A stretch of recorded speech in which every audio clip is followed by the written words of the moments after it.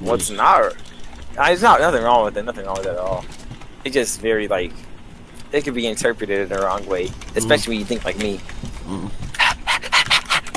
Oh, you.